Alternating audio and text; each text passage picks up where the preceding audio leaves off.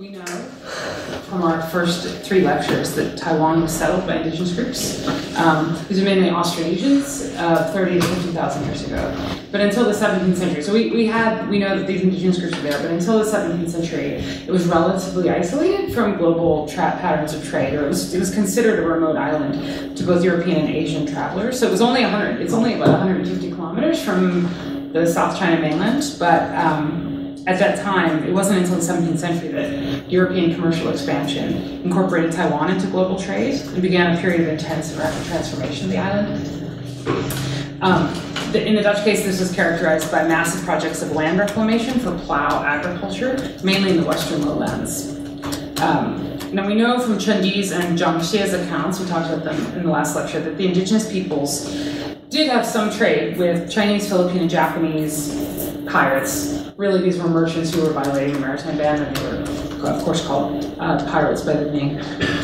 Um, and this is, of course, we mentioned also that this is how Chun was able to find an interpreter for his visit. But it was under the direction of the Dutch East India Company, the Veronique de Oost-Indies Company, the VOC, from 1624 to 1661, and, and a brief period of Spanish colonial rule in the northern part of the island from 1626 to 1638, so only 12 years that Taiwan was transformed into a functional colonial entrepot, mainly for trading Chinese silk products with Japanese buyers. So Dutch development policy also dramatically increased the island's trade in indigenous goods such as venison, deerskin, rice, sugar, and rattan. These new industries were aided by Chinese migrants from the southeast coast who were provided with land, tools, and other farming necessities under a Dutch, like an incentive program, basically. They were giving them um, land and tools that they would come and farm. Gradually, these Chinese migrants came to outnumber the Dutch, uh, and a revolt led by the Ming loyalist uh, Zheng, Zheng sometimes known as Koxinga, in 1661 brought the island under Chinese rule. Koxinga's heirs eventually capitulated to the Manchu rulers who had already overtaken the Chinese mainland, leading to the inclusion of Taiwan into the Qing Empire in 1683.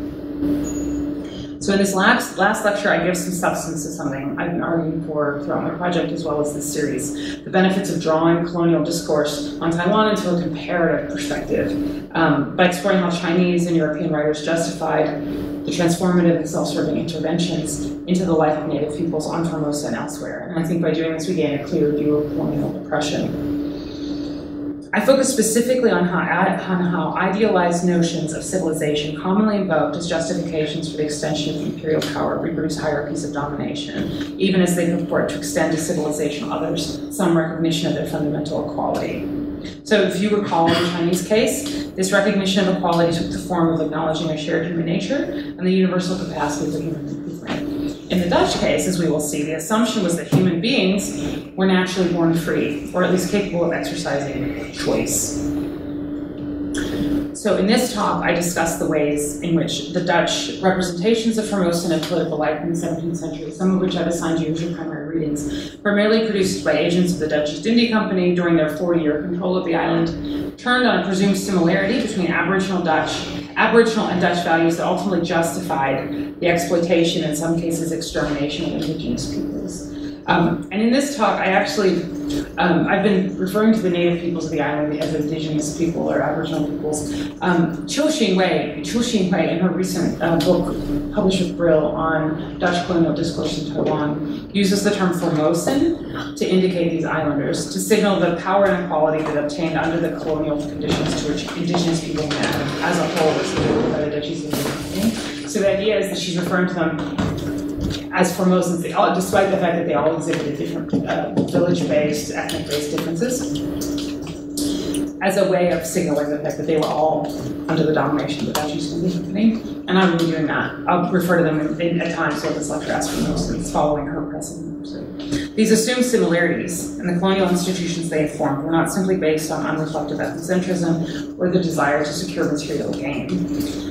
Rather, I argue they embodied an approach to human nature, here of the Dutch, which saw political life as fundamentally about the protection of liberty. These views emerged from discussions about the possibility of Republican rule in the Dutch Low Countries during resistance to the Spanish Habsburg Empire and the gradual political consolidation of the Dutch United Provinces. So, whereas in my earlier lectures I was linking Chinese discourse on Taiwan to broader currents of thought, much of it prompted by the Manchu, uh, the Manchu conquering of, of the Chinese mainland kind of intellectual responses there. Here, I'm trying to understand Dutch discourse about Taiwan is linked in some way to discussions in the Dutch Low Countries at the time, uh, formulated in response as a form of resistance to imperial rule of their own, that of the, the Spanish Habsburgs. Within the particular context of the United Provinces, the Dutch Low Countries, Republican liberty was constituted via institutions such as laws that limited centralized power, historic privileges granted to towns and cities by ruling nobles, and the federalized assembly of the States General. On an interstate level, the East India's in-house legal counsel, Hugo Grotius, who's a very well-known political theorist, um, in fact, the only political theorist who really makes the major uh, uh, features in a, any kind of major way in this project, endorsed the capacity of local rulers to willfully alienate their sovereignty and their territorial possessions to the Dutch state or trading companies. In some, in the eyes of Dutch travelers and colonial administrators, Formosans enjoyed a distinctive kind of freedom that, I will argue, both legitimated the alienation of their sovereignty to Dutch colonial rule, while requiring further enhancement through specific forms of political organization imposed by East India Company institutions. So we really are switching gears. I think that there are obvious parallels to Chinese and Dutch discourse about the native Formosans, but at this point I think it's also important to recognize the distinctive differences. So the Dutch were speaking to different audiences and they were coming out of a very different kind of political background. Um, scholarly discussion of Dutch activities on the island had actually rarely taken into account this broader context of Dutch political thought in the 17th century. So East India Company activities on Taiwan, of course, have been well studied by people like Tonio Andrade for the role they played in securing the company's greater territorial control of the island and for their insight into anthropological and geographic conditions on the island prior to intensified European and Chinese contact. So for in terms of understanding pre-colonial status of indigenous peoples, their records have been extremely valuable and fairly well studied. But the peculiar character and subsequent development of company relations with Taiwan's indigenous peoples, including the specific kinds of oppression those relations facilitated, can be fully intelligible only when we take into account how a particular notion of Republican liberty influenced both Dutch perceptions of Formosan political life and subsequent attempts to reorganize it. As Arthur Weststeijn has shown in recent work on Dutch imperial discourse, contemporary opinion in the Low Countries, quote, characterized and criticized the, the Dutch East India Company in distinctly political terms, unquote, often viewing it as a quasi-state entity or as something that traffics in sovereignty and interest as much as trade. So the idea is the Dutch East India Company is a bit of a and many of these trading companies in the early modern period had a very distinct status. They weren't states, but they effectively had the power to, they had the kind of sovereign authority to impose law and order on these trading code. Right? They, they acted like states in their extension of power to the foreign colonies. Therefore, it makes sense that we consider how the Dutch East India Company's political theory, as much as its commercial calculations, influenced Dutch interaction with the indigenous inhabitants. So I examined three interconnected examples of how ideas about Republican liberty functioned in Dutch representations of and subsequent attempts to control or engage the Formosan, these were mainly Sirayan villages on the southwest lowlands of Taiwan, near the Dutch stronghold of Zeelandia. So Zeelandia was actually in present-day Anping, which is near Tainan. So if you've ever been to Tainan in Taiwan, you can take a, a bus, a long bus out to Anping and see the remains of this Dutch, this Dutch fort. So first I examine the influential account of the first Dutch missionary to Taiwan, George Candidius, who expresses both shock and admiration at the lack of leaders in Sirayan society. I've given you this text for your primary reading, you've done the reading yourself. Candidius interprets this lack of leadership as a mark of the indigenous people's natural freedom, which he argues should facilitate the willing conversion of the indigenous peoples of this island to Christianity. Second, I explain how this description of natural freedom, which mirrors Dutch beliefs about the origin and developments of political life, reinforce the validity of contracts made by the island's indigenous peoples to freely alienate their sovereignty to the East India Company. Third, as East, India, as East India Company agents began contemplating territorial expansion, transforming Zeelandia from a trading factory to a productive trading colony, Candidia's successor, Robert Junius, Robert Junius, systematizes the selection of representative leaders from indigenous villages by inviting them to participate in annual celebrations called Landdagen, land days. I show how these land, these these land days, embody key principles of Dutch republicanism, in which the practice of civic virtue plays a, it requires a structure of participation and leadership in order to flourish.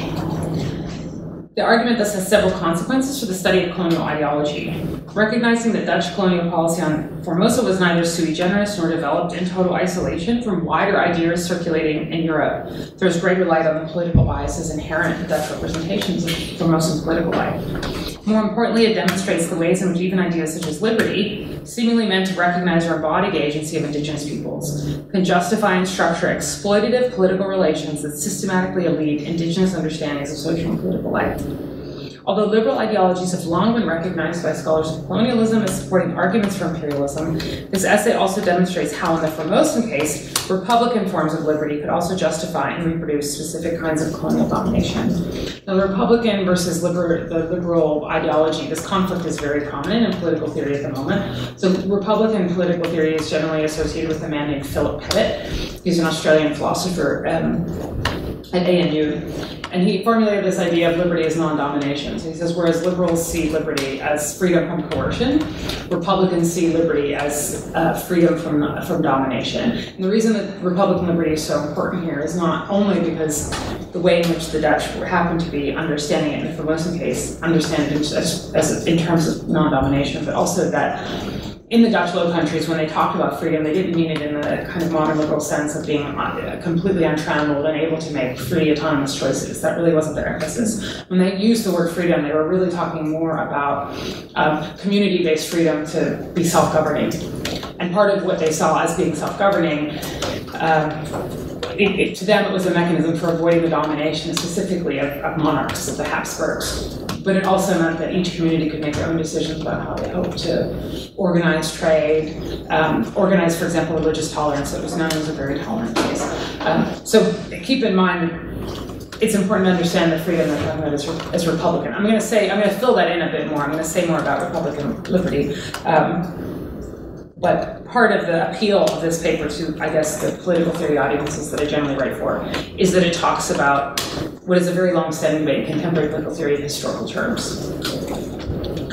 Um, so the problem of Aboriginal authority obviously presented itself because if you see liberty or freedom as having something to do with communal self-governance, it's going to become very difficult when you don't have when you have a society such as that of the indigenous Formosans that don't necessarily have leaders or have clear leaders and that exercise power in a more diffuse way.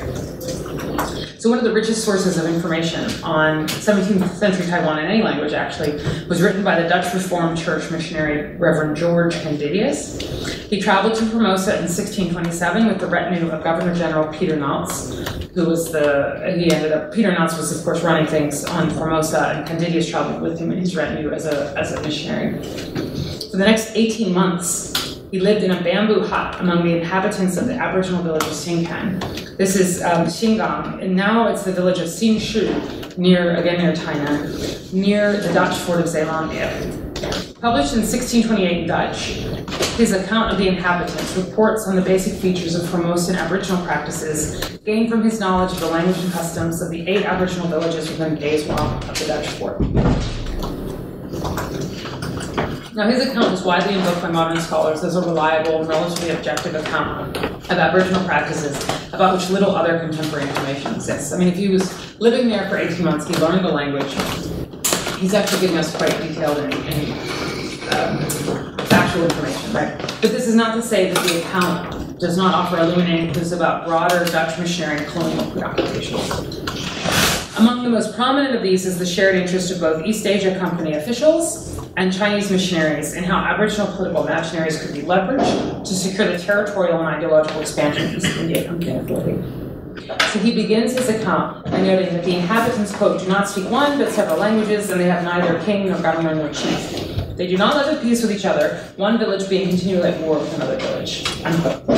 His observations tally with, of course, as we've just seen, um, as well as other contemporary Spanish and Dutch sources, which all consistently remark on the lack of leaders in Formosan society. Although Candidius' description seems to imply that villagers must cope with constant violence due to their ongoing warfare and lack of a designated leader, life within the village as Candidius and other Dutch authorities describe it seems peacefully anarchic. He says they have no general chief who rules over them, but each village is independent. Nor has any village its own headman who governs it, although it may have a nominal council consisting of 12 men of good repute. Every two years, the councillors lay down their office and others are chosen in their stead. The dignity and power of the councillors, however, is not so great that their laws must be obeyed or their commands listened to. But whenever a difficulty arises, they meet and deliberate about the best way of solving it. Having come to a decision, they all call the people of the village together to one of the pal- palaver or the idol houses. The question is propounded, and for half an hour they discuss the pros and cons of the matter. Perfect order is maintained. At their eloquence, I have been thoroughly astonished, for I actually believe Demosthenes himself could not have been more eloquent or had a greater selection of words at his command. The councillors, having finished speaking, the people deliberate about the proposal among themselves, and they may accept what the councillors propose or not, as they think fit. There's no compulsion, everyone judging for himself of the advantages or disadvantages of the proposal. This sounds like a pretty nice place to live in, right? To modern eyes, the picture that emerges from this account actually is, appears unexpectedly democratic, or at least that's what I'm taking away from it. We can decide, I mean, in the discussion, it would be interesting to hear uh, your own thoughts about this the, the kind of village he's describing. But it seems that the villagers are exercising rotation in office, where conciliar deliberative authority is given up willingly and routinely. All members of the village have an opportunity to speak to each other and deliberate about matters of common concern. Argumentative persuasion is emphasized to such a degree that there appears to have developed a practice of rhetoric comparable to that of the ancient Greek masters, every member of the village seems to be encouraged to think and act independently. Sounds pretty good, right? What few prohibitions do exist among the Siraya, such as not becoming intoxicated during the rice growing season or failing to follow the commands of the priestesses, are enforced, Candidius notes with some wonder, through fines rather than corporal punishment or imprisonment. Now we have here um, an early Dutch representation of, a, of an indigenous council house. I'm pretty sure this is not an accurate representation. I'm pretty sure they do not have like ionic columns in these council houses, but this is a this is taken from an account written by um, one of the governor generals of Formosa called um, Forsaken Formosa or Lost Formosa. Um, it was an account in which he would produce a lot of Candidius's description of the uh, his account of the inhabitants, but also this guy Coyet also gave his own explanation as to why um, the Dutch lost Taiwan to Koxinga. and he's trying to say why it wasn't his fault, but it kind of was. Um, but anyway, in this, it, what's interesting to me about his account is that it has these images, these engravings that were obviously made in the low, the low countries. I mean, in in in the Netherlands, the present-day Netherlands, um, in response to what Candidius is describing as these as these these palavers, these, these council houses. So you can see on this side, this is where the there, there's some animals there, and you can see here um, the, the, these are flanking the doors, right? And this is where all of the people are supposed to be. Um, some of them are discussing, and some of them are sort of having these their prostrations, because Candidius talks at length about um, the power of the priestesses, and the, the, priestesses would sort of gyrate and um, prostrate themselves, and they would have, and then they would make sacrifices. They would make, they would determine what certain courses of action. So the ones that the decisions that were not made by conciliar deliberation among the men were made by these priestesses who were endowed with a certain kind of, um, I, um, I, suppose, religious authority to make decisions, particularly about when hunting should, should take place and when the, the hunt should, should go on. Um, anyway, this is what the Dutch thought looked like. I'm pretty sure it didn't look like that, but I'm, I'm including it here as, as a kind of comment on um, how Dutch thought about foreign others, right? It's a representation of otherness, that we were talking about in our last in our last lecture. So what's interesting, I mean, again, I'm interested to hear from all of you like what you thought about Candidius' description of these of these villages. But for early modern Dutch authorities, these Aboriginal villages didn't seem democratic because that was really actually not a that kind of democracy was not really a vision that, that was available to them historically. This is kind of our modern vision of what, what democracy is, the way I'm describing it. So they didn't appear democratic so much as anarchic. Governor Martin Sonck attributed the situation to a lack of desire. The Siraya, he said, simply did not want to have rule by leaders. Each of them, rather, he says, is about as much in charge as anybody else. So that's just down to what they want. These descriptions of Sirayan villages as ironically both internally well organized, yet ungoverned and anarchic, are supported by two earlier Dutch accounts of Aboriginal life in the nearby village of Soulang, these accounts note the strange lack of male authority in Formosan villages, and indeed they present Aboriginal freedom as an empirical fact of observation and say, quote, all and sundry are equally free or unfree, nobody being more master than the other, for they have no slaves, servants, or underlings whom they sell, hire out, or lend out. Nobody has any, no, neither has anybody the right to meddle with somebody else's business or behavior.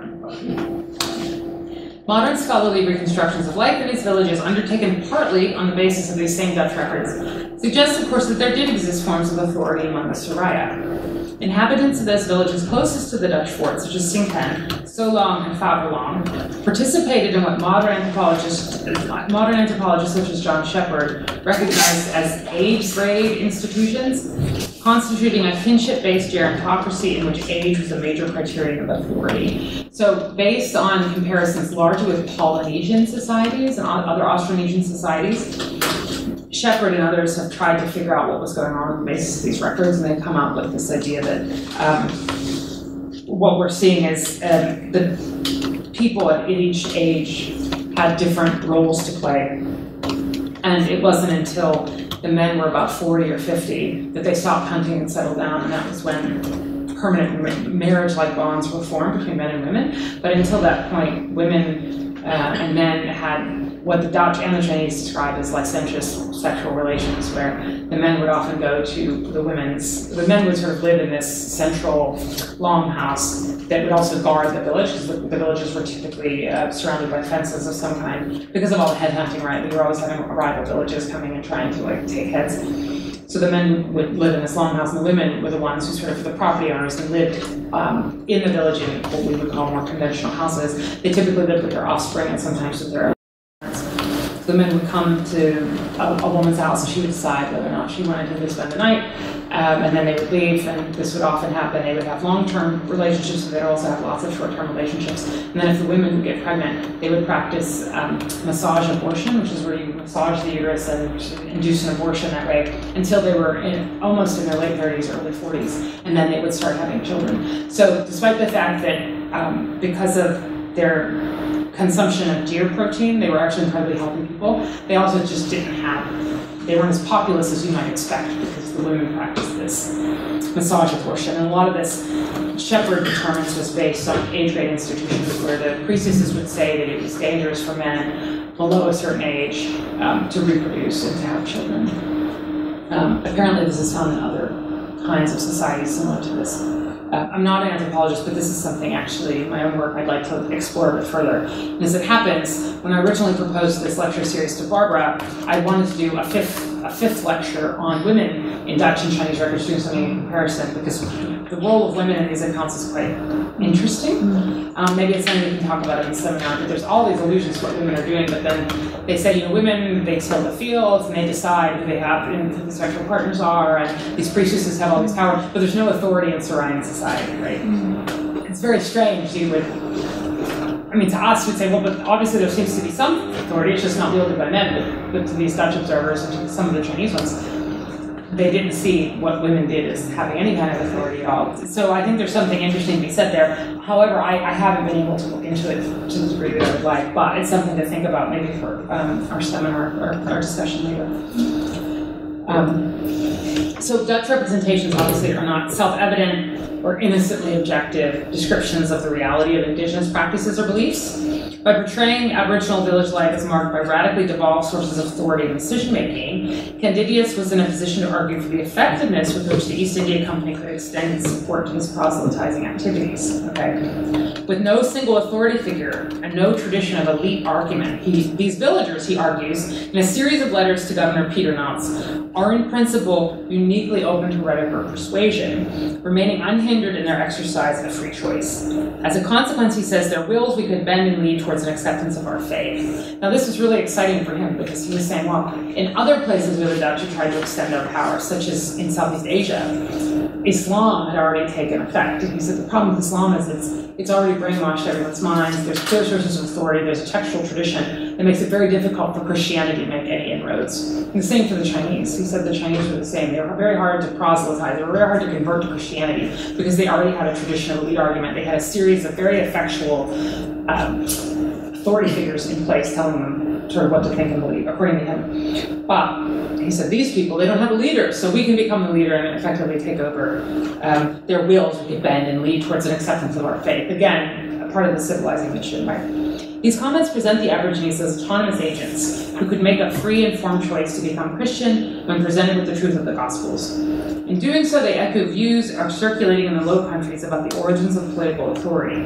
as new forms of natural law were being explored as universalist alternatives or additions to religious arguments about human nature.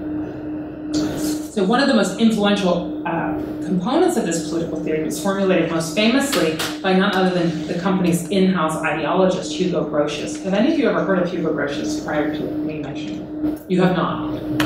He is called the father of international law. He wrote a text called Mare, uh, Mare Liberum on the Free Seas, where he was trying to defend Dutch interests to sail unhindered throughout the oceans that the Spanish and Portuguese were claiming belonged to the Pope. So the Spanish and Portuguese are saying the Pope gave us a special dispensation to be able to, to use the oceans, basically, to navigate the seas. And Hugo Grotius formulates on the basis of legal principles indebted to Roman law rather than to Christian theology, an argument that the seas were free. And indeed, many of the jurisdictional principles that govern the free seas today, that govern maritime law, international maritime law, are indebted to what Hugo Grotius has said. So he's actually incredibly influential in terms of thinking about a law that would extend not just within one jurisdiction, but would extend across jurisdictions. He's also been slippery, as we'll find out. Right? So he was the East. He was he was both an East India Company spokesperson and a political advisor during the early years of the company's establishment in 1604 to 1615. So he had a very close, direct relationship um, to the Dutch East India Company. So in his 1609 tract on the freedom of the seas, this Mare Liberum, Grotius advances a universalist theory. So this is in contradiction to the, theocrat, to the theological the theological arguments that were being put forth by the Pope and his representatives in Spain and Portugal that poses all human beings as both naturally sociable and naturally free. Grotius, this truth could be seen from the fact that God, quote, had not separated human beings, as he had the rest of living things, into different species and various divisions, but had willed them to be of one race and to be known by one name. That furthermore, he had given them the same origin, the same structural organism, the ability to look each other in the face, language too, and other means of communication, in order that they all might recognize their natural social bond and kinship. So it's interesting that here we have another statement of nature and what it self-evidently is supposed to be. On the basis of this premise of a universal human similarity, Grotius goes on to argue that even non-Christian heathens, such as the indigenous peoples of the Americas, are free men, and therefore should not be subject to the violent conversion attempts to which the Spanish colonizers have subjected them. So you might, are you familiar with people like um, Vitoria and Las, uh, Las Casas, people like that? So these were, these were Franciscan um, they were theologians, but they were also, Vitoria in particular was arguing against the extension of, of Spanish rule in the New World. So you might be familiar with you know the Aztecs, all of that. The, the Spanish Cortez was going in and just basically creating a bloodbath, trying to find gold, right? And he was saying we shouldn't be. That there's a reason, there's a principal reason why you shouldn't be destroying human life because they are human, and so we should be rescuing them. We, we should be protecting them, trying to convert them to Christianity, giving them education. We should not be exploiting them in the service of greed, basically. Um, and Grotius's point too was to show ultimately that Portugal, a rival to Dutch authority in Southeast Asia and the Americas as it happened, would be unable to claim private ownership of the seas through papal donation. So what was going on is he's formulating principled arguments against Spanish and Portuguese um, claims in the New World and on the seas. But it also happens that they serve the interests of the Dutch East India Company, right? They serve the mercantile interests of the Dutch East India Company at the same time. So to Grotius, the inherent freedom of the indigenous peoples of America implies that they cannot be subjects of the Pope, and therefore they are not simply subject to whatever the Spanish and the, Portuguese were wanting to do with them. He says, quote, the Pope cannot take away from them anything they have, nor can he take away their right of trading with whomever they please. You may be familiar at this time, it was assumed that the Pope was basically a, a, direct phone call to God, right? Like he was he was supposed to be God's representative on earth incarnate, and therefore what he said goes. So when it comes to the point where you're just suddenly discovering new lands and new seas, how do you determine who, who gets it? How do you carve it up, right? Now, of course, they didn't see the indigenous people that were already occupying the land as having any claim upon it, because to them it was terra nullius, it was, it was empty land. Um, so basically, Grotius is speaking to this debate that they're having about how to carve the world up. And he's saying that the Pope doesn't have authority over the indigenous peoples of the America, despite the fact that he's supposed to be God's representative. In theory, the Spanish and the Portuguese are saying, well, God's representative must have authority over everybody on earth, right? But what Grotius' arguments did was they established legal grounds for a theory of liberty on an interstate scale, so across jurisdictions. He drew from ideas and in intuitions circulating in less precise form as the Dutch expanded their territorial explorations over many corners of the globe. Dutch writers and pamphleteers throughout the 15th to 17th centuries resisted arguments made by supporters of Catholic authority that Christian rulers could wage just war against enemies of the church, particularly when these enemies included not only non-Christian Turks, so on Europe's doorstep, but also Christian dissenters in the Netherlands. Formulating an alternative natural law to the one which justified Spanish conquest of the New World in terms of papal jurisdiction, Dutch writers sought to elaborate new terms by which territorial discovery and possession could take place through peaceful interaction with indigenous peoples. So this is another way that Hugo Grotius was selling it. He was saying, well, the Dutch want to have peaceful relationships. They don't want to slaughter these people in the name of getting gold or, or resources or whatever else they're looking for. As Benjamin Schmidt has shown from the time of the voyages of Columbus, when did Columbus sail the ocean blue? 1492, right? So we're talking from the late 15th century. Dutch writers identified themselves with the indigenous peoples of the New World in a shared fight for liberty from Spanish tyranny. So already we're getting some of the background of this. Ascribing to indigenous peoples and rulers an inherent freedom to trade, practice religion, and make contracts, therefore stood as a powerful symbol of Dutch resistance to Spanish Habsburg aggression on their own soil. So they're defending indigenous rights against the Spanish and the Portuguese in a very self-serving way. They say that they're fighting the Spanish in their own soil. Literally, the Spanish are trying to take over the Dutch Low Countries. Um, and in the process of that, they're defending, they say the Spanish shouldn't be taking over the New World either. And they're basically backtracking, they're kind of backfilling, they're trying to think of arguments that would make the Spanish desist from, from both of these, aggressive, these forms of aggression.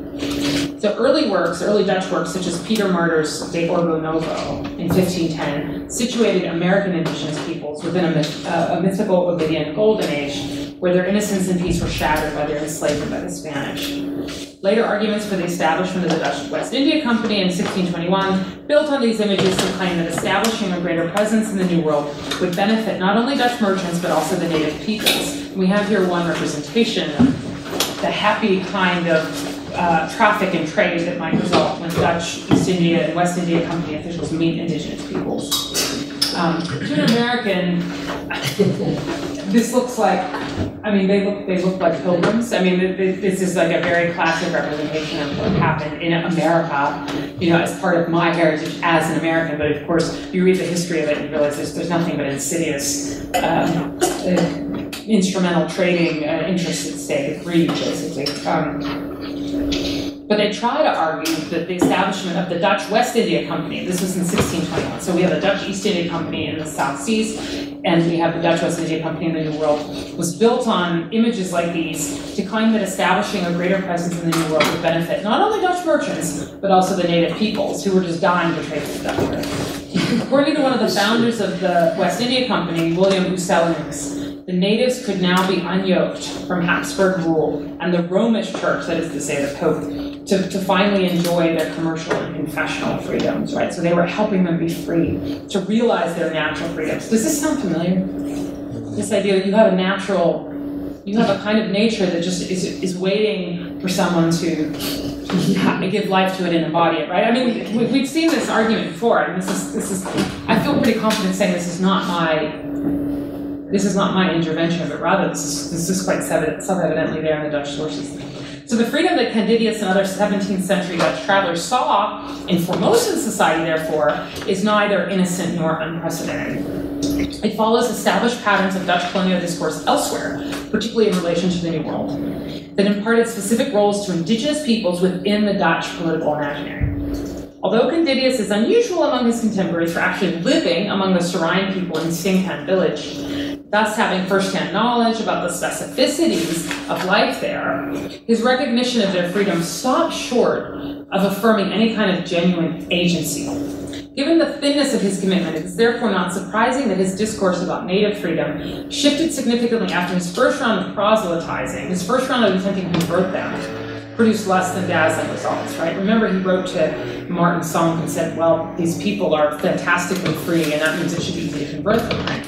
Well, when that didn't work out, he changed his views a bit. As I show below, this shift arises directly from the tensions in a conception that sees freedom as somehow both natural but also capable of expression only in particular sanctioned ways. so, this is where Republican freedom starts to, to come in.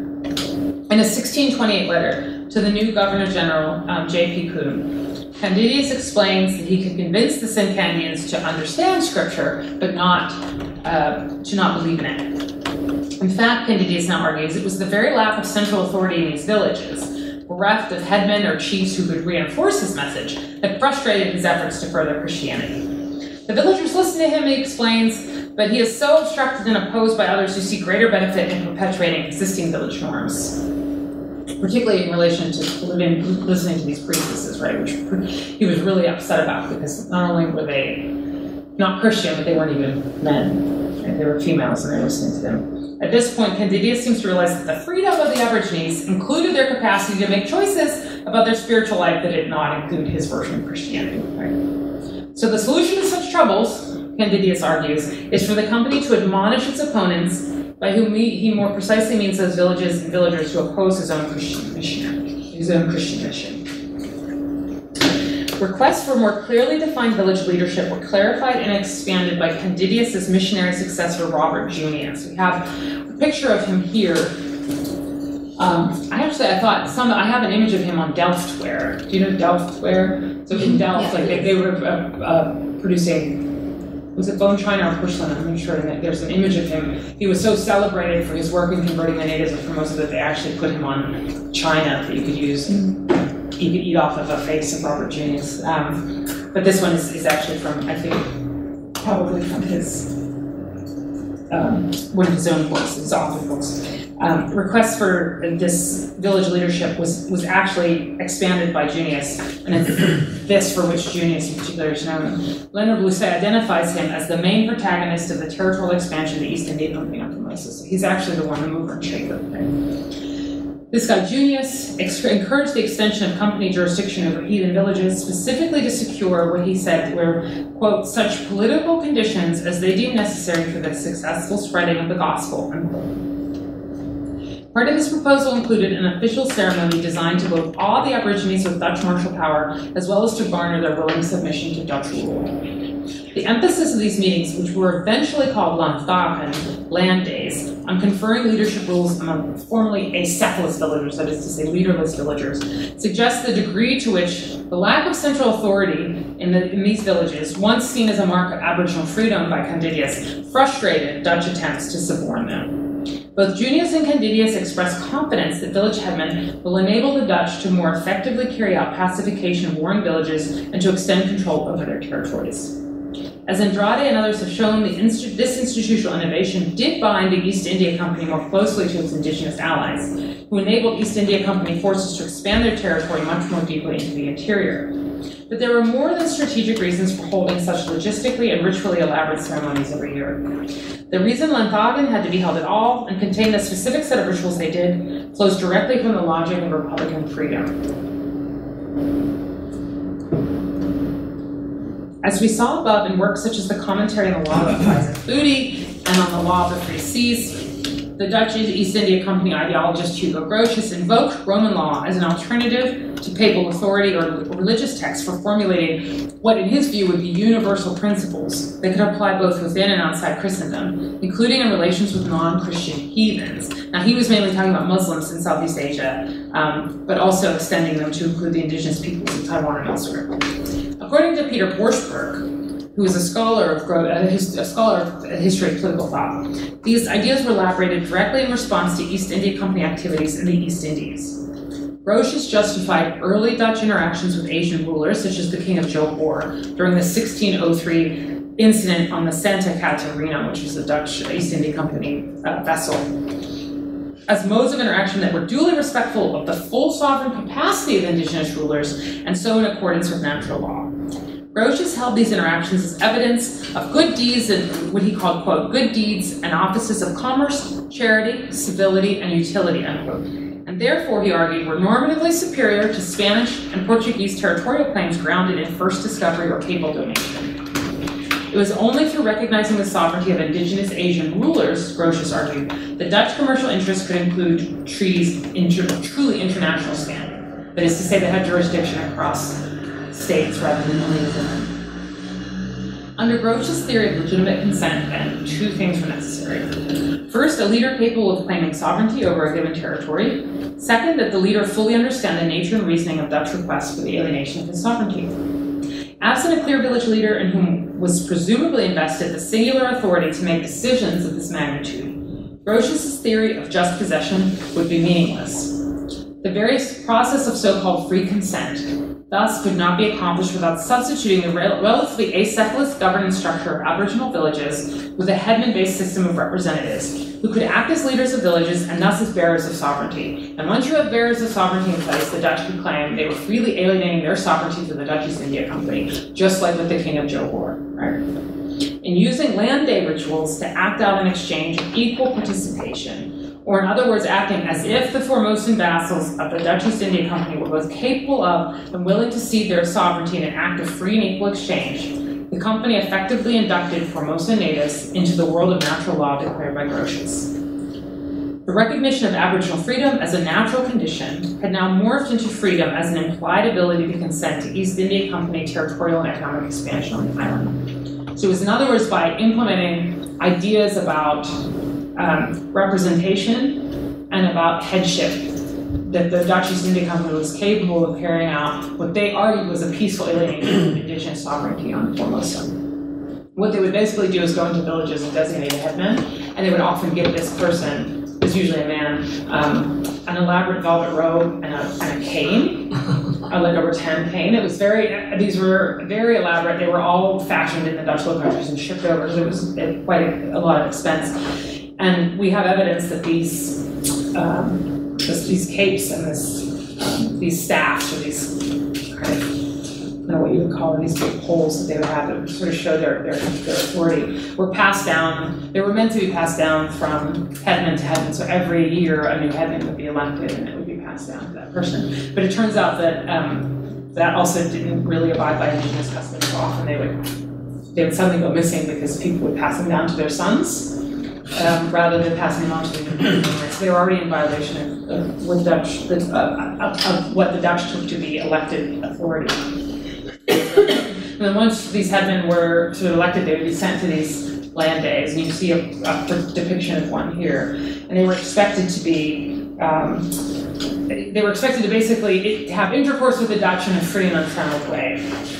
So the company officials felt that it was extremely important. Antonio Andrade has done a very extensive examination of these documents. Um, the Dutch the, the, Dutch rule felt by the, was felt by the native villagers as a thing of joyful and active participation. So these, these villagers were actually supposed to come freely and willingly and enjoy themselves at these celebrations. So in other words, it, the Dutch had to stage some kind of performative activity in which they could satisfy themselves that the indigenous leaders that they had just created were freely alienating their sovereignty, and therefore the Dutch could willingly and easily and legally take their land away from them. That was basically what was happening here.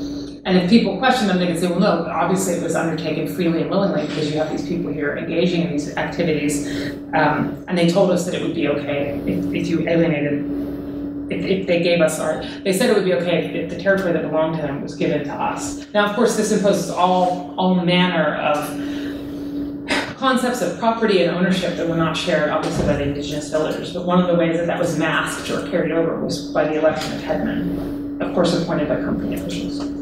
They even told participants to these Landdagen that they should that they should quote not give in to nervousness or fear, but should rather speak nothing other than their true and sincere will. Since this was a free and unconstrained meeting, and even if they had committed great mistakes, they would nonetheless be allowed to go their way as free men. On this basis, Andrade argues that land days were intended to be perceived, at least partly, as a participatory meeting, a place for the elders to share their grievances and to share in government. Although Andrade does not elaborate further, we might wonder what is motivating the rather odd requirement for joyful and active participation, particularly if the Dutch were interested only or primarily in native compliance to advance their commercial and territorial interests. What kinds of free men did they now expect these newly ensconced village leaders to be? And how is it possible that the Dutch could honestly believe that participation in such ceremonies could meaningfully amount to having what Tonio Andrade has identified as a shared government? Insofar as Dutch colonial administrators in Taiwan are no longer convinced that the natural freedom of the Formosans worked in their favor, we may have to look more closely at how Dutch thinkers generally understood liberty to work. It is important to remember that the version of Republican liberty, defended by Dutch jurists and pamphleteers during and subsequent to the revolt against Spain, departed from more well-known and liberal accounts which tend to define liberty as the absence of unjustified constraints on action, i.e. as the absence of coercion. For many of the Dutch of this period at least, liberty was defined more positively as constituted by political self-determination in contrast to papal or tyrannical authority. So they were trying to reject the authority both of the Pope as well as of monarchs. It was not meaningful as a pre-political condition that could somehow be enjoyed simply or now. Rather, it could flourish only in the presence of appropriate institutions that systematized and checked political authority in recognized ways. Now, one of the distinctive features of Dutch Republican liberty was its reliance on ancient traditions of local laws and privileges in the Dutch Low Countries, both to legitimate resistance to Spanish rule and to elaborate a further understanding of the kinds of liberty the revolt was meant to secure. The ideas of liberty that resulted from these discussions was not homogenous, systematic, or uncontested, but they did tend to center on the idea the political order was originally created to secure liberty. They focused specifically on the role played by long-standing institutions such as the States General, an assembly of local representative authorities that enjoyed increasing powers over taxation and defense as the Dutch Republic consolidated in the 17th century. So it's seen here in this, in this etching. In both making possible the representation of local interests while preventing the consolidation of power in a single ruler. So they saw the antidote to papal authority and monarchical power in these kinds of assemblies. It's notable that for the Dutch, representatives of each of these states, it's a bit of a federalist system, were generally elected, they were elected elites. They were defended as embodying the sovereignty of the people in the process of communicating local interests to the General Assembly, but these representatives did not serve an explicitly democratic purpose in the way we might recognize today. As described by Francois Vranck in a 1587 defense of the States General, which was to be eventually recognized as the Dutch Magna Carta, the College of Counselors historically enjoyed in Holland and other states was comprised of the most esteemed of, the rep- of their representative town or city to whom they owed their loyalty, and in them collectively was vested the sovereignty of the entire people. So we're not talking about one person, one vote democracy, we're talking more about community representation. And they were represented, they were represented, perhaps not surprisingly, by local elites, not by, you know, it wasn't the case that just anyone could become a representative. Of course, that's probably true still today. The sovereignty did not translate into popular participation on a local level, however, so much as it was a tool for ensuring the liberty of all through the maintenance of privileges. The people as a whole did not, nor were they seen as exercising any real influence over their rulers. For early 17th century Dutch thinkers such as Brederode and others, including Paulus Busius, the distinguishing marks of classical republicanism, the ideal towards which many of these political theories were oriented, were the, the autonomy of the citizen, rotation of office, and collegial government. So I think that this tripartite description of the ideal Republican participatory government helps to make sense of the land day ceremonies, with their requirements for annual rotation of headmen joyfully participating in rituals unrelated to direct influence on Dutch policy. By offering villages the opportunity to choose their leaders and sometimes to stand as representatives for these land day ceremonies, Junius and his East India Company colleagues were creating a situation in which the freedom, the so-called freedom or autonomy of the villagers could be meaningfully affirmed in Dutch terms. These quasi-elite village representatives participated in government in the sense that they were, in principle, akin to states representatives, much like in the Dutch Low Countries, who, who practice rotation in office. In the collegial or assembly-like atmosphere of the land day ceremony, these representatives were seen as free to air their grievances with the company. So we have a contrast here between this image and, and the one that I just showed you. I, I'm, I'm suggesting that maybe part of the imaginary from which Robert Junius drew the idea for these land day ceremonies is indebted to the States General, this institution that prevailed in the Dutch Low Countries. The land day did not extend to voting procedures for East India Company offices, but it did operate as an affirmation of the representative support for company policy over each respective village. Although obviously conceived to advance company interests, affirmation of support by the Formosans was not, a totally empty declaration. As Tonio Andrade has shown, East India Company policy was shaped pretty profoundly by decisions of villages to ally or not with the company and its decisions to extend their territorial, territorial authority further. So against this background, it's perhaps not surprising that despite his celebration of the natural freedom enjoyed by the Sinkendians, Candidius argues in his letter to Governor Nuyts that the problem was precisely, quote, no republic can exist without rulers and laws, and this place has neither, unquote. This general political theory also informs Candidius' original, influential description of Aboriginal village life as anarchic, where what to us might seem to be strikingly democratic and well-organized modes of governance are translated in his account into markers of the inadequacy of village politics. Even in the face of its obvious efficacy in enforcing laws and rules without resort to physical punishment, Candidius persists in describing village governance in terms of lack. The only solution was to have our magistrates, he says, that's his word, offer protection and assistance to the seven villages already occupied by East India Company forces and grant similar privileges to all those other villages willing to submit to company laws. His successor Junius expanded this belief in law and order as the backbone of a prosperous republic to extend company authority and territorial control via these elaborate land-based ceremonies, which in turn enforced judicial and other leadership innovations made by the East India Company at the village level. So the point is not to say that Junius, Candidius, or the East India Company leadership replicated Dutch Republican institutions exactly in their reorganization of the Siraya villages. I'm not saying that at all. I'm simply arguing that their recommendations had clear reference in the literature of the Dutch Revolt and the subsequent consolidation of the Dutch Republic, where freedom was seen to operate in particular ways and to require specific forms of political institutionalization. Adam Clulow has recently argued that East India Company officials treated the sovereignty acquired through such exchanges as the Landdagen to be malleable and readily turned to the organization's advantage. His interpretation of East India Company actions in Formosa counts them among a range of mechanisms through which the company acquired sovereignty over Asian territory, all of which, he says, quote, were subject to ready manipulation to ensure the best opportunities for profit and power, unquote. Yet when placed within the broader context of a political thought that inscribes the notion of freedom with specific content and forms of practice, it becomes clear that it's not through violation of native political rights, but rather only by means of their conferral and recognition that East India Company authority could be extended throughout Formosan territory. The land day ceremonies and the designation of native headmen or leaders subject to company control and guidance in managing village life were in some ways designed to exemplify rather than suppress the freedom of Formosans. That it was that is it was only by instantiating villagers with political rights that their actions could be rendered legible to company officials as constituting genuine and free consent to the alienation of their sovereignty to the company.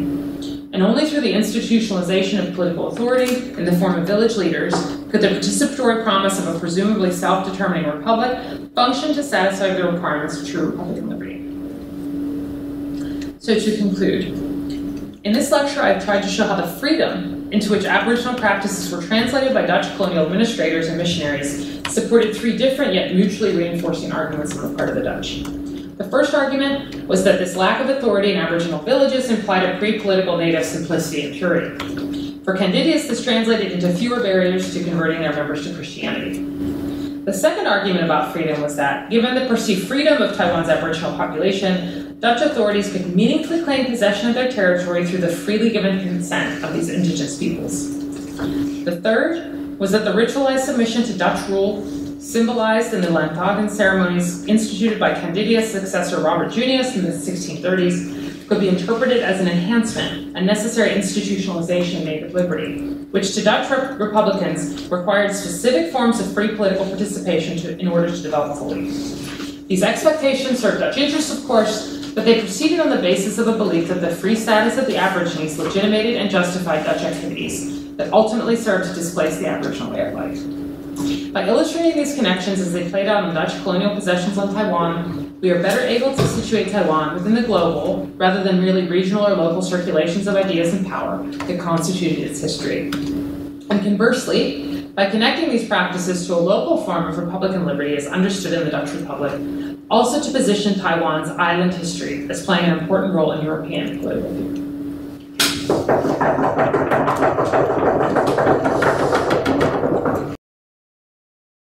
Why did uh, why was uh, Taiwan not uh, explored or colonized uh, by China much earlier? I mean, in the 15th century, uh, Zheng He went as far as Africa. Africa. So I mean, Taiwan is right here. So why was it so uh, foreign, so strange to them? Um, so I, no one really knows. We there's actually Chen Di actually mentions in his report. I don't know if you remember this that that Zheng He there's a, there's a myth that Zheng He visited Taiwan mm-hmm. and gave bells to these. So they, the indigenous people were, were bells that were I think bronze bells that were cast. So they, they knew that they were trading with someone and they had these bells that they would wear. And there's there's representations. I wasn't able to find it in time for this lecture, but there are representations of indigenous peoples on Taiwan wearing these bells, and it was believed that they were given these by Zheng He. But that might be mythical. So I don't know that Zheng He actually went there.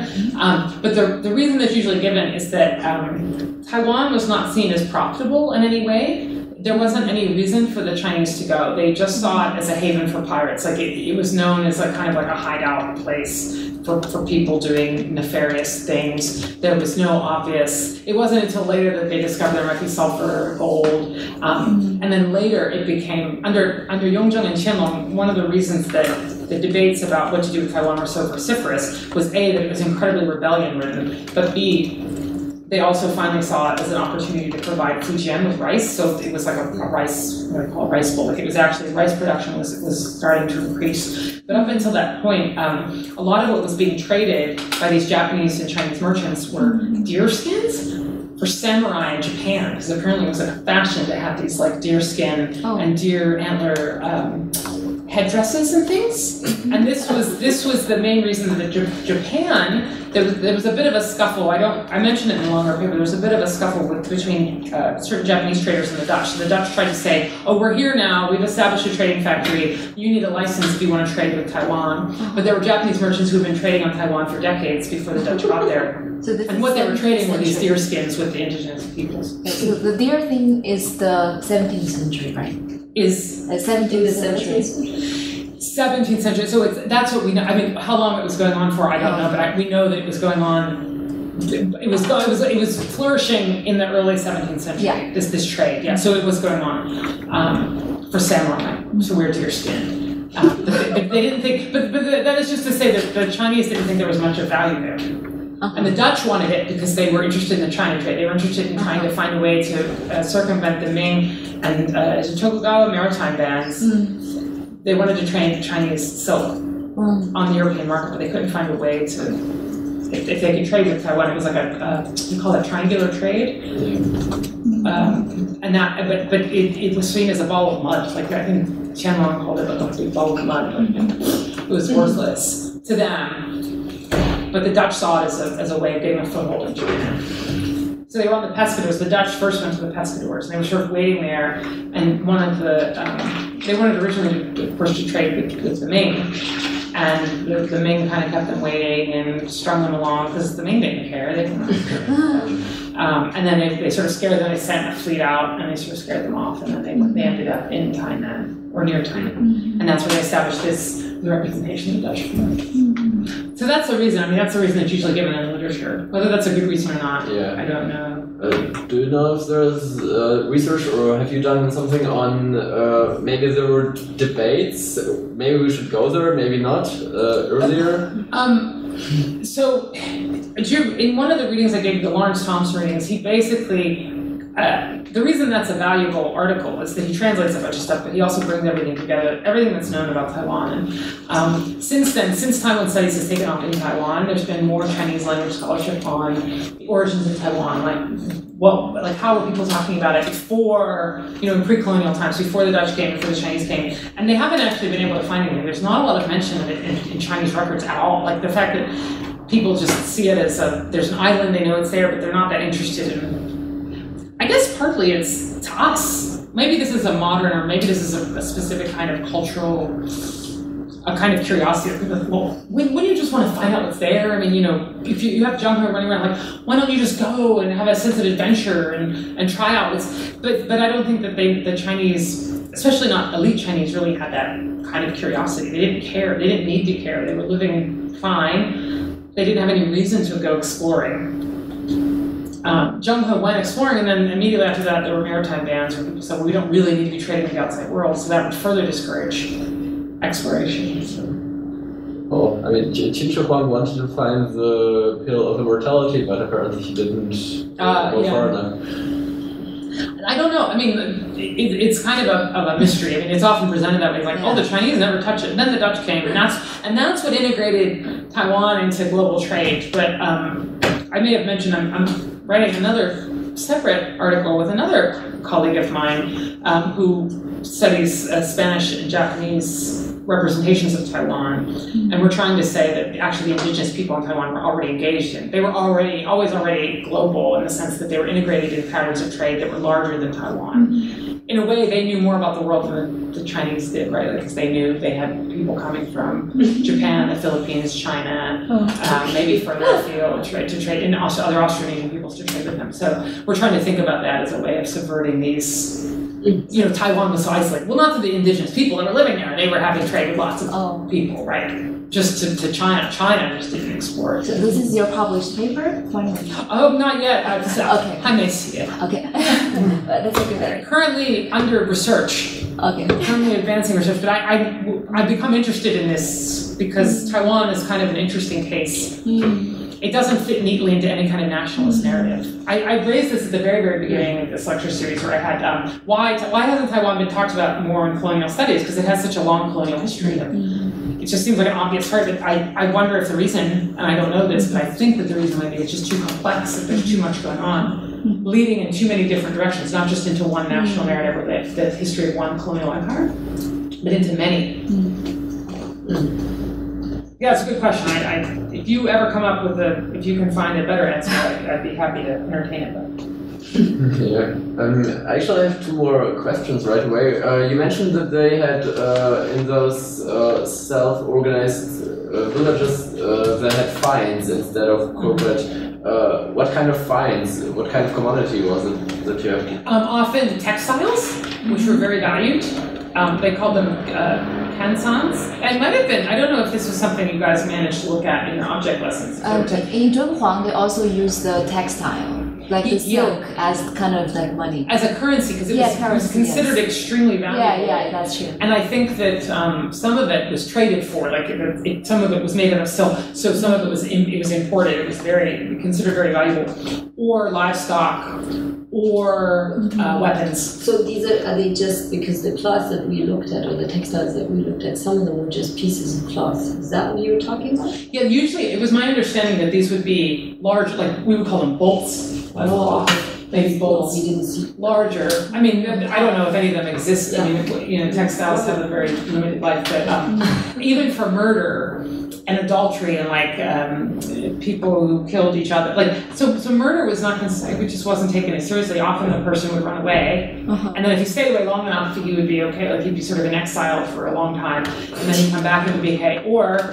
he would be tracked down and he would be forced to give something quite valuable, maybe some pigs or or something to the person whose family, like the person's family, the person who he killed his family. Um, but but this is what we know. I mean, Candidius's account is one of the only ones we have of what we call pre-colonial indigenous life. Because once the Dutch came, of course, then they disrupted everything and things started to change completely uh, because they tried to educate them. in Dutch values, and that included, you know, let's have a nuclear family, let's start reproducing at an early age, let's have women, let's give women these specific kinds of roles. They're not allowed to farm, it's the men who farm, it's the men who own the property. Um, by instituting uh, like village-based schools, they managed to affect differences over about a generation. So by the time the Dutch got there, already things were changing. So this is this is their pre-colonial state, as far as we know. I just forgot, forgot to ask. You mentioned those bells, uh, which Junho did or did not give them. Um, do we have any of those bells, or have they all been lost completely? I don't, I don't. They were like bells that like they wore on their wrists and their Okay. ankles. Um, we have images, Dutch images of indigenous people wearing such bells, uh, but whether the bells themselves exist, I don't. I don't know enough about the Okay. about, about the material history of Taiwan. It would be interesting to know.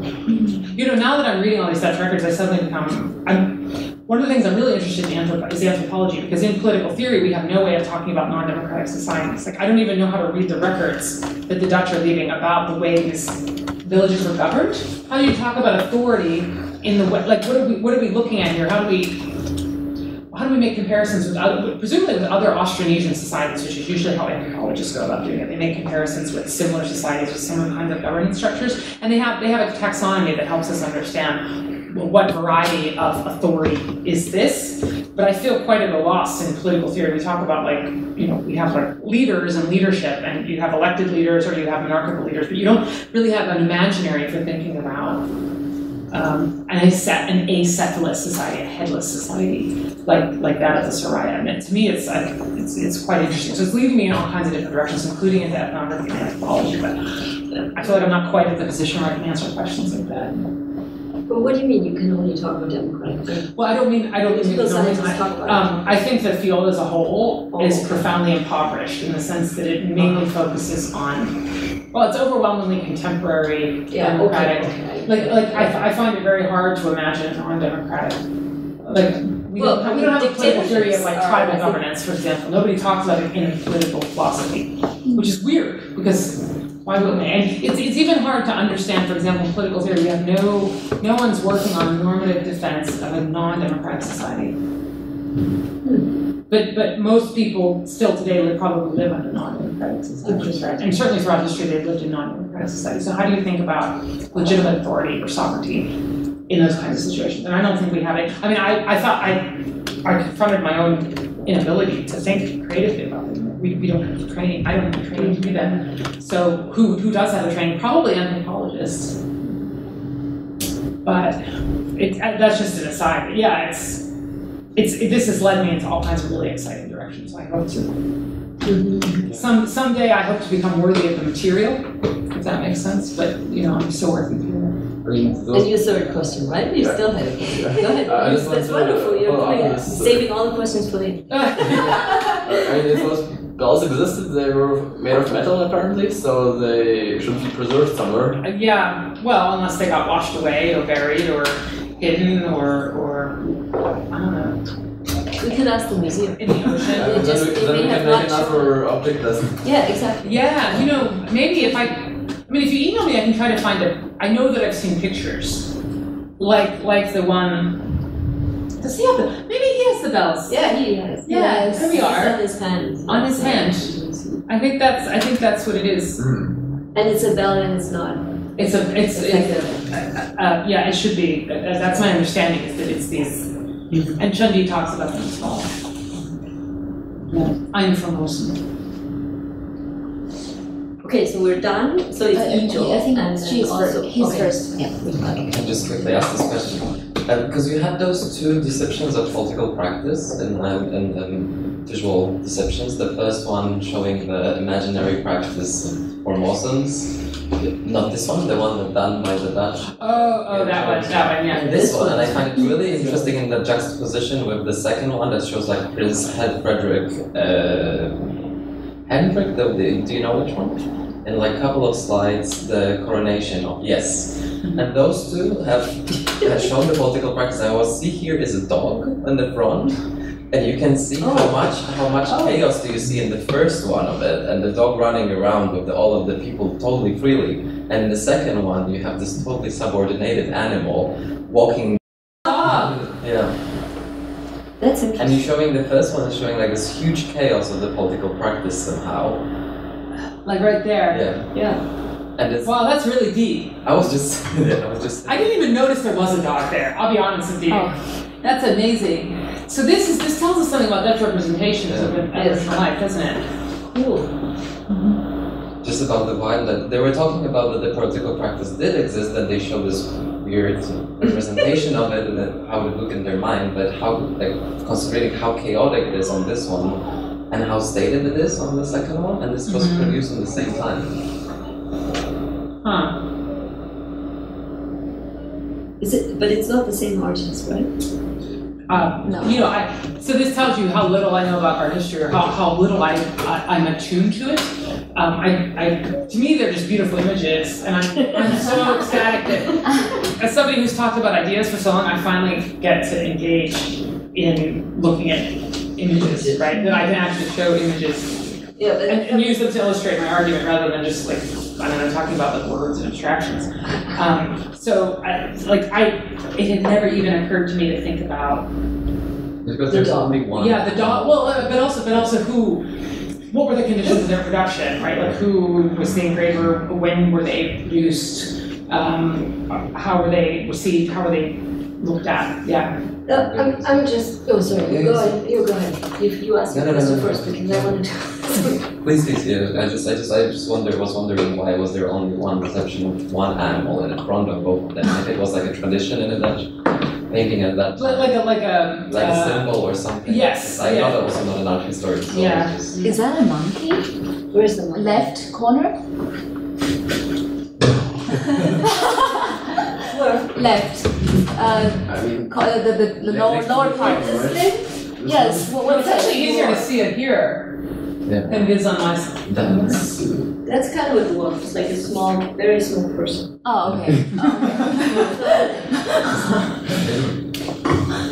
Is that some Is it a child? Who's coronation? I think it's a, it's a from the Friedrich Henrik Prince von Orange from the in the states of the world. Well, he's the stadtholder, so this is the interesting thing. They had somebody who was basically like a king, Yeah.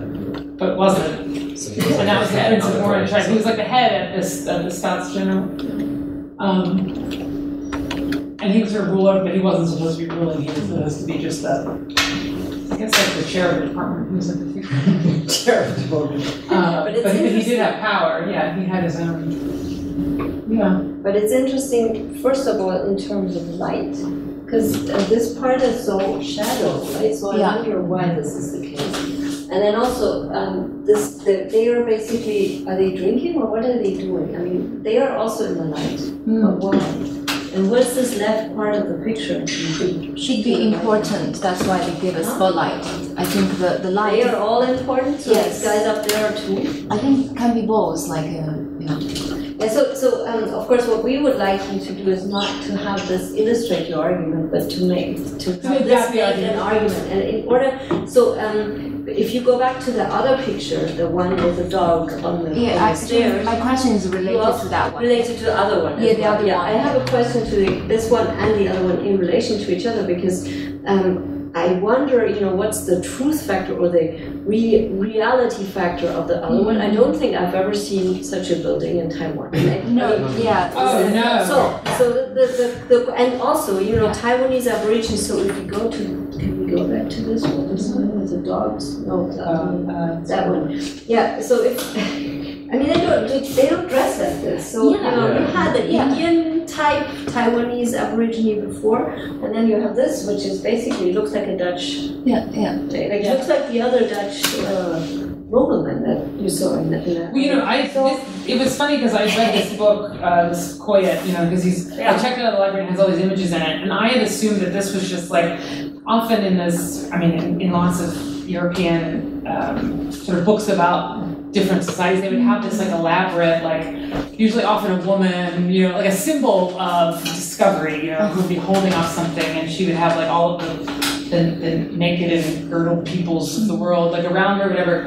Um, so I thought it was like some kind of like symbolic, like Dutch, just sort of frontispiece. And then and then it says, I think, oh, this is this is one of those houses, that one of those long houses, the council houses that the indigenous people were delivering. This is one Candidius was talking about. And I was like, are you serious? Like really? Like, but but then you look at it and you sort of say, okay, and it's it's part again, it's part of a larger image, and I'm, I'm Ah. sorry to say now that I didn't reproduce the whole, whole thing. Yeah. Should have known I was talking to humanity, humanities crowd, Right, exactly. familiar with images, the- right, in art historians. we I should have. Um, yeah, and it would be good. Okay. Because maybe that's also a two-part picture, and maybe you know then you can also say something in terms of light.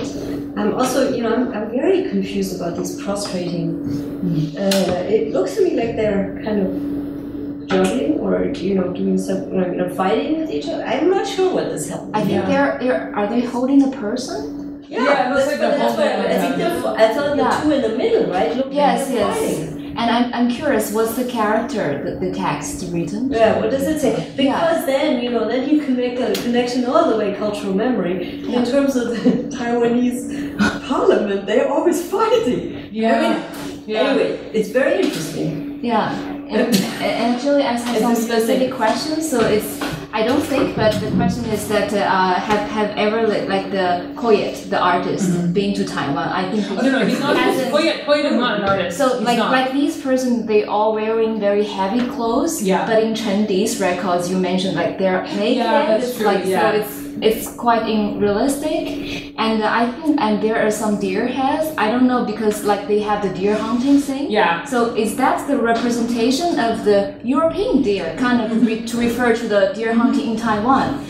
and also like ask uh, what's the text. So uh, after this specific question, I have a larger question. So. Uh, uh, were, th- were there, are there any conflicting contents between the 17th century China and Dutch in term, terms of the records or description of the, uh, the indigenous people's life as their representation of the otherness? That's a larger question then. Yeah, um, oddly enough, there, so Chen Di's account and Candidius's account are largely, um, uh, what's the word, they, they match Oh, okay. very, very closely. Okay.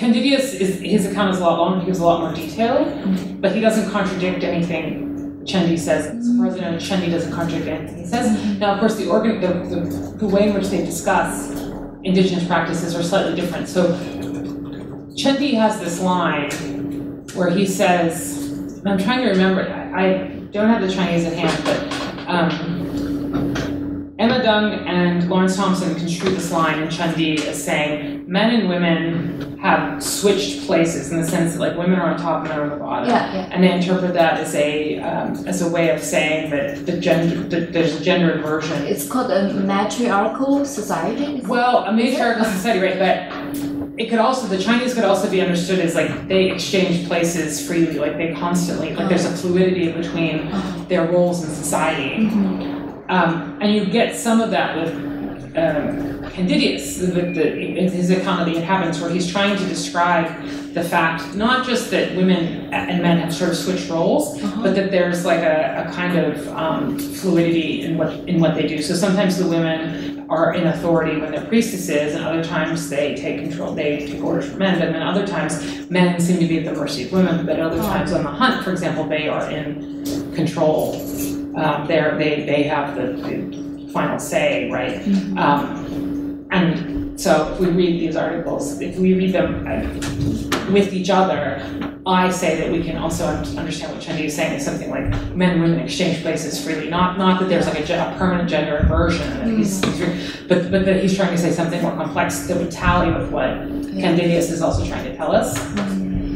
But like I said, I've, I've become very interested in both of these accounts in the role that women play. Yeah. um, not just in the sense that we know that colonized others are often feminized, you know, that they're seen as somehow, and they're either seen as children or as women, something to be conquered, they're sexualized, they're fetishized in certain kinds of sexual ways, but that actually they tell us something about authority, because I'm interested in female authority, um, and how, if at all, we can read these accounts against the grain to come up, so they have their own, you know, Candidius has his own agenda, maybe Chen Di has an agenda, or maybe he has a certain kind of perspective. But if we, if it's possible to take these accounts, and of course, there's many, many, many more Dutch accounts and records of mm-hmm. colonial Formosa than Chinese. But if we could somehow take these accounts and take the information they give us, and then figure out what's actually going on in terms of the kind of roles that women play and what kind of authority they have, I think that would be, I, I, I hope that at some point I can make that part of this project. Yeah, I'm interested in, in this fifth lecture about women's role. Well, I know, so am I. I wish I'd have written it, right? You know.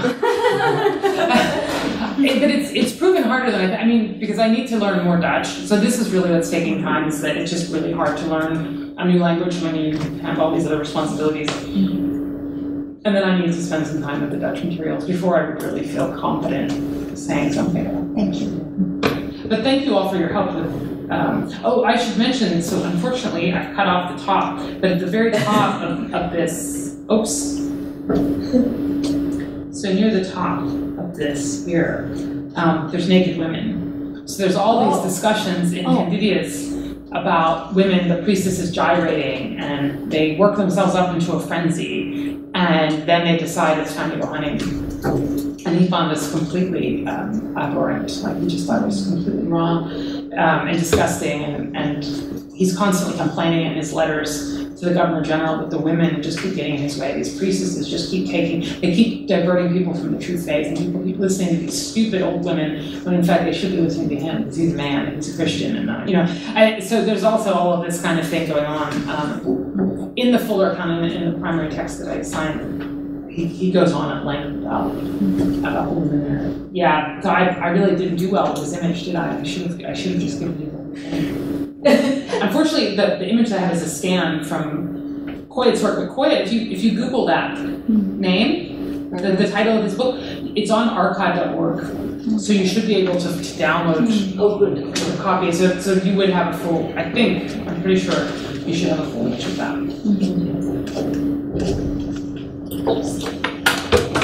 Actually, I have uh, questions about, um, I'm wondering why there, um, are there any like dictionary works on Taiwan? Are there? Uh, missionary? Well, Candidius was a missionary. Yeah. Oh, And Robert Junius was also a missionary. So. Um, but did you mean something more specific? Um, yeah, because uh, we saw these images and documents left um, by some travelers from European, uh, from Europe. So I'm wondering um, whether there are any like missionaries. Well, yeah, they were. They went there in the in the in the guise of missionaries. They were explicitly missionaries. So in the Dutch accounts, you have the missionaries. That's George Candidius and Robert Junius, and then you have a bunch of letters and um, like reports by Dutch East India Company agents who are of varying levels of literacy and intelligence. And they, of course, all the missionaries in the Dutch East India Company don't necessarily have convergent interests. The missionaries are trying to convert people, and they're trying to use the Dutch East India Company, particularly Robert Junius. They tried to use the power of the Dutch East India Company to basically use violence to, to force these villagers into submission so that they can probably convert them to Christianity. Um, and then you have the Dutch East India Company who's mainly interested in, in gaining control of their territory so they can trade and, and tax farm. Basically, get the indigenous people to pay their taxes, um, as well as to trade deer skin and, and seed them some land so they can start uh, farming rice.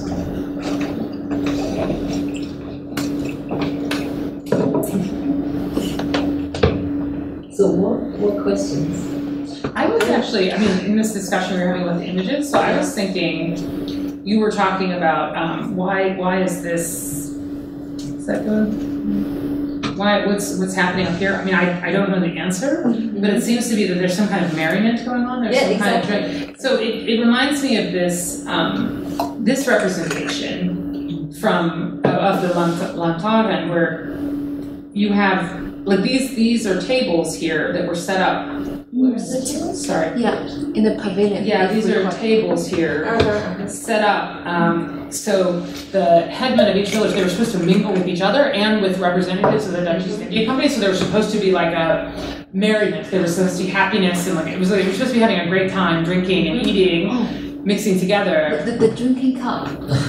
Yeah, The objects. Yeah. Are they there?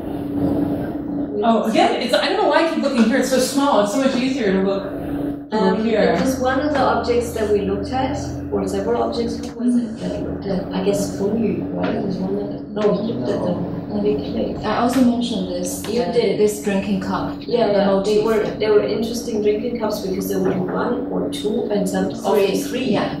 Together, and you would drink together. So it kind of is a unit. So, do they know, where, where were they from in Taiwan? They were from an indigenous. Part of Taiwan, Taiwan. Taiwan, Taiwan. Taiwan. Taiwan, yeah. So this is why, I mean, this is one, actually one of the reasons I, I was unsure about my ability to lead the object lessons part of this course is that there's so much diversity in each of the indigenous groups and I didn't know enough about them in, in their particularity. Um, and I also don't know how they, they each had sort of different relationships with the Dutch and then they would trade with each other and sometimes these Dutch artifacts would end up with other, in other villages or other mm-hmm. tribes mm-hmm. um, for different purposes, and then you wouldn't know necessarily. You would have some inkling, inkling about where they came from, but you didn't necessarily know how that place used them or how those people used them. Mm-hmm. But it seems to me, and then what would happen is you see here. This is the staffs. They were given these staffs, and this was sort of like a platform where they would be called up and they'd be given these these staffs um, here. Why do that? It works sometimes in the Yeah. They'd be given these staffs um, and robes, and then they would sort of go back, and they were meant to be, you know, having a good time with everyone. And I'm wondering if there's some element in Dutch Republican governance about interaction, like free interaction, or if there's something to connect what they're doing here with, with, with what's what's happening in this left-hand part of the of the slide. I mean, I don't know. I have no idea. I officially have no idea, but um, now my interest is really peaked. Unfortunately, this means I have to become conversant in Dutch um, etching and art history of like the 17th century to figure out like what, how they like the, the vocabulary of representation, right? Like the kinds of conventions they were using to represent things like the dog or the um, the way they use light, etc. Mhm. Uh, But it might be interesting because um, a lot of the times it doesn't illustrate your argument, but it actually adds to it or Yeah. subtracts. And to me, it's very interesting that both the um, depiction of the Dutch and the depiction of the Aborigines is very uh, generic, right? Yeah. So, so it's not as if you see individual Dutch there. It's, it's, it's sort of a type, right, that you see there. And it's the same, it's, it's not as if they make a big distinction between those who are supposedly more civilized than those who aren't, which would sort of play into this argument of basically making them free, right? That converse Yeah. on a sort of commensurate uh, or quasi-commensurate scale, right? Um, and so maybe, I mean, Ijo knows more about art history, and probably also European art history, and he can, he say something about this kind of generic uh, way of depicting both the Dutch and the Mm, But I'm not doing European art. Yes, of course, you know, Yeah. but you I have to I look you, for more images Uh-huh. about that knowledge. it, I mean, it would be really interesting to see, for example, whether you can find, I mean, the, the one of the Landdagen that you showed, um, there the Aborigines don't look like Indians. But actually, I think this image, I have a probably a clear one. So I think this part Yeah. is quite similar to the one at the left corner there. Isn't it? The, the, this part looks Yeah, like the like, like, like the yeah the inside of this part. Do you Ah, okay. Okay. Isn't like the right part of the other image. Where so? Uh, I think the, the, the, the corner uh, which is uh, in light, like uh, I don't know. uh, you can- Um, you're saying it looks like this this part.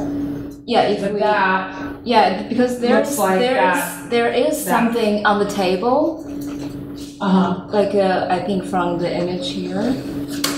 Yeah, you can have a look. There is something on the table. I don't know if this ceremony is kind of similar. Mm, yeah. Sorry. Is it? Uh, so all these engravings uh, were uh, made in, in, in Holland instead of in Um, so I'm not sure if they were made, so the engravings, the etchings, these were definitely made in Holland. This I know was made in Holland, well after Coyett had left Formosa. So there probably somebody may have read what he wrote and then they sort of inferred, they drew something that they thought was like that. So whoever drew it or etched it or engraved it, whatever, they'd never been to Taiwan. Now, these um, are appear in Dutch records at Batavia. So I would imagine that whoever was there did sketch. Like it was somebody who, who was there that sketched them. I, so far as I know, whether or not. I mean, now I'm realizing how little I know about the origin of these images. So whether or not um, they have like a company illustrator, for example, so Yeah. somebody who's been trained in Holland and then comes here, I mean, what you see is going to be based on how you were trained, right? Um, No, I think maybe we can with some similar, uh, some similar uh, Dutch situation, like how the in uh, in Holland how this uh, democrat democrat systems uh, depicted in the engravings and the yeah, pictures. I mean, so the one image I have is this one that I didn't try very hard because I wasn't looking at images of how it was depicted, right? So I'm sure there's lots of others. Um, that's very interesting. Yeah, I mean, thank you. This is hugely. Um, And, and maybe I have a question relating to Chose's last question. So uh, I think you, you can argue that the Dutch colonizers appropriated the concept of uh, freedom and uh, um, public liberty to stabilize the Dutch colonial control, right? well, or that Yeah, that, that was what was in their mind when they sort of were Yeah. confronted with the situation on Taiwan. They sort of figured out Yeah, how so to uh, organize it. uh, I, I, I, I don't know much about the Dutch co- colonial history, but I mean, is there a model that the Dutch copied, or they, they already applied this to other places? So, this is something else that I would like to do more research on, but it's my understanding, so far as I know for right now, that what happened on Taiwan, this stuff that's on the and was, was unique to Taiwan. I don't, I don't know that they did this anywhere else. Um, and my thesis is the reason maybe they never did it anywhere else is because when they were colonizing Southeast Asia, Southeast Asia already had a number of what they called indigenous rulers, not indigenous in the sense of being um, uh, Aboriginal, but indigenous in the sense of just being native. They already had a bunch of native rulers already in place. So it was with these kinds of kings, these kings and rulers of like the king of Johor, for example, mm-hmm. that they could directly negotiate and say, okay, this king is alienating, he's, he's making a trade, he's, he's making a trade pact with us. Mm-hmm. So we can sign a contract with him because he's a free agent who's alienating his right to his sovereignty to his territory to the Duchess of the Company. And this fit very nicely with what Hugo Grotius was saying that the law of the seas and the law of people should do, right? Because there's a legal, free, peaceful, mutually beneficial contract, right? Of course it wasn't. That's but that's how they that's how they talked about it. The only other case where we have um, and a counterexample is on the Banda Islands, the Spice Islands. So apparently the Dutch went there and it they did have leaders there. They're called big men. These um, eh, what's sort of like these, these like local leaders, and the local leaders didn't want play ball. They, they didn't want to alienate their something. They said no, we want to say. And at that point, the Dutch basically wiped them out. Bloody genocide uh, because they wouldn't cooperate. But in Taiwan, we have these villages that don't seem to have leaders. And so then that, that's very frustrating for them because they're like, well, we can't, who are we going to ask to alienate the sovereignty of their land, right? And they didn't have a democratic understanding in the sense that they thought they could vote, they could have everyone in the village vote and alienate their sovereignty. They were looking for somebody who was the representative of the community. But they didn't have any community representatives, so their solution to that was to make them up. And that was where you get this these kinds of ceremonies, which to my mind are, are distinctive and unique to Taiwan. Hmm. So among the Austronesian peoples, the Taiwanese indigenous peoples are the least stratified, or, or some of the least stratified. Um, apparently the, the Sirayan are the least stratified, so that's the southwest, the people in the southwest coast. There's lots of different, there's like 24 or 25 different kinds, identified by anthropologists, different kinds of peoples on Taiwan, indigenous peoples in Taiwan. And some of them some of them, in fact, there's at least one or two villages that have female leaders, inherited female leadership. Um, so there's a wide variety of political authority that we see among Austronesian societies. But um, one of the comparisons that's often made is between these Sirayan people and Polynesian societies, talked about by Marshall Sahlins, who's a very famous anthropologist. He talks about like big men. The, the, the influence was mainly it was um, that, that people became powerful not through election, but sort of through their deeds. And if they man- if they managed to pull something off that was really important to the village or to the tribe, then they sort of had this almost material kind of power. But then once they started to do things that were not as beneficial, then the power would kind of cede to somebody else. It was very, it was very shifting and fluid. It didn't necessarily have anything to do with hereditary power or designated authority. It was just kind of whoever was in favor at the moment. It was like the big man. Um, and they talk about the, there's some of that. I mean, some anthropologists have talked about that in relation to these people in Taiwan. I guess the problem though is that these are historical peoples. That that they've been the Siraya are not recognized by the contemporary government of Taiwan as, a, as an Aboriginal group because they say they've been sinicized that they don't exist anymore. So they're, they're extinct. However, there are people on Taiwan who claim to be Sirayan who say that they're derived from these people. Um, and they're trying to agitate the Taiwan government to recognize them as an Aboriginal group. And they're trying to revive the, the language of Sirayan. And there's been some anthropological uh, reconstruction of the Siraya language because when Candidius and Junius and his successors were there, they actually composed a Sirayan dictionary and they translated the Gospel of Matthew and the Gospel of Luke into Sirayan. So we have some, but they were using Dutch Romanized characters, you know, to, to transcribe indigenous uh, sound and language. So, so we have records of what it sounded like at the time of, of his. So they, they provided us with, with many different, I mean, well kept, well organized records, right?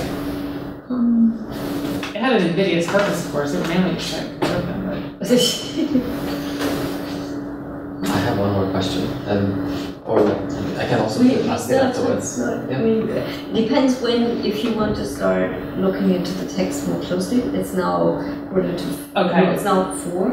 It's almost four, yeah. Yeah, so you, you, you, Yeah, I don't mind. I mean, in a way, I feel like we're getting, we're in, you know, we're learning more as we as we talk about this. But so it's, it's Okay, so my question concerns um, is the question concerning age and how do they perceive the age of people? Because from the Chinese sources, we everything that we know, and I'm, I'm not sure if I didn't get lost in the timeline somewhere at this moment. But from Dutch sources, we, we have this idea that they already knew about which age which people did have what kind of uh, so at the, at the age of 35 the women Yeah. were uh, giving birth and then who was the oldest one was the one who was leading the, the, the group and then in the chinese sources it's, they're concentrating so much on the fact that they didn't Yeah. understand actually the idea of time and here do you have So uh, part of that is down to the fact that um, Chen Di only really saw one portion of these. So that Candidius is talking about, I think, ten different villages, Mhm. and in the different villages they have different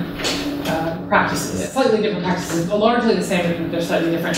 So there are certain villages that recognize age more um, specifically. They're all Sirayan, but they're different villages, so it's like different um, dialects of a similar language or something like that. So part of the difference is down to that. The other difference is um, some of what I was talking about in my talk are reconstructions by, by contemporary current anthropologists about what was actually going on in these records. Um, and I think it's consistent with what Chen Di says in the following way. He says that when, he'll mention that when people see an elder walk by, they turn their backs, like there's a mode of respect, but they don't really know what their ages are. And I think Candidius confirms that this is the case. They're not, they don't keep record, accurate records in the way that Chinese, for example, would expect, so you knew exactly who was older and younger. They tended to group people into like bands of age. You generally knew that so and so was born around the time I was, so roughly my age. And we roughly know who's older and younger, but we don't really have a clear sense of what our age is precisely. And we don't always know. Um, I guess the other thing that bothered them, they didn't always have same fathers. So the women would have many children, but they didn't know who was older and younger in the sense that they didn't know whose father was whose. Um, so they didn't know necessarily, they didn't have that familial deference, right? Um, so they did have, so they had a sense of age, but they didn't keep records where they knew people's birthdays in a specific way, if that makes sense. Because they, they had these stages of life that, that they would go through. But a lot of that, like where I say, like at age 35, 40, that's a modern reconstruction of about what age they would start doing things.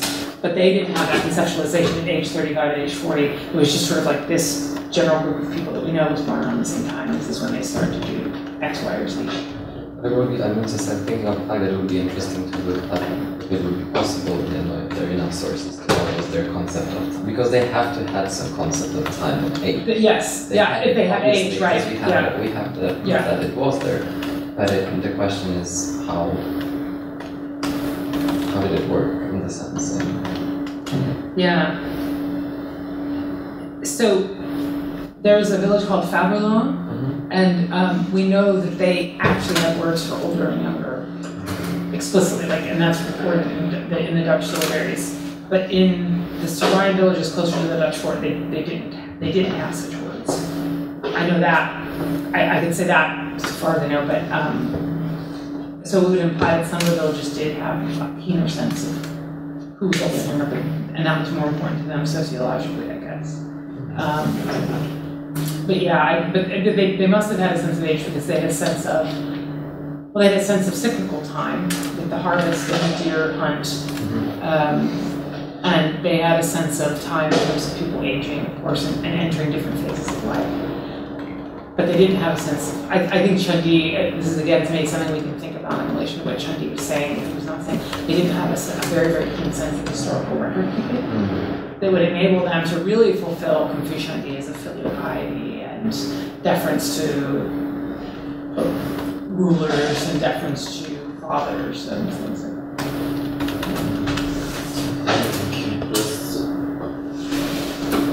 Uh, do we know about uh, life expectancy uh, among them? Yeah, so apparently life expectancy was pretty good in the 50s or 60s. Um, because, so one reason was, you, you all read Candidius's text, right? So you remember, you remember the passage on the abortion, where he describes the? So one possibility that life expectancy was so long is that they were eating deer meat, they were very well fed, um, they had good nutrition, but that women were dying in childbirth as often. So they were waiting, so actually massage abortion statistically was healthier for women than having children. Um, so they weren't, women were living longer because they weren't dying at age 16 from giving birth. They were waiting until their late, their, like, what we would estimate to be their late 30s, and then they started having, and then by then they could only have a few children. They couldn't have like 12, they could have like four. Um, and not, yeah. My grandmother had 13 children. Woohoo! 18 pregnancies, 13 children. They were Catholics, didn't believe in birth control. Like, I, I've had two pregnancies and they just about wiped me out. I can't even imagine having, like, being constantly pregnant. It's a tremendous labor. It's, it's just so much work. Um, but these women, in Ryan Society, unfortunately, didn't have to worry about it. Well, I mean, they had to have a massage abortion, which is